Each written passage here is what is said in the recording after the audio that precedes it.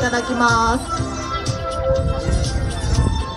千葉くんの花はここはお醤油で有名な野田市ですね。そしてお耳が銚子です。今イワシが旬でお魚がたくさん取れます。そして首のこのラインが九十九里浜でここは東京オリンピックのサーフィンの会場にもなっています。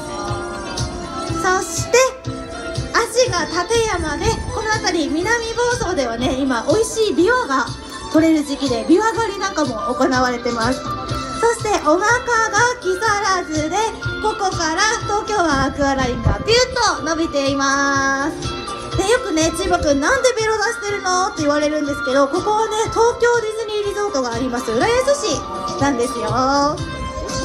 してあの地元とかではねよくあのイベント開催地千葉くんで言うと今この辺りに皆さんいますよって言うんですけど今日は福島なのできみたんにもお手伝いしてもらって今皆さんがどの辺かを伝えたいと思います。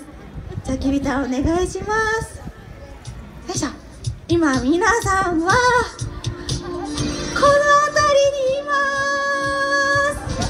はいありがとうございます。実はねお散歩してたきみたんこのために持ってきたんですよ。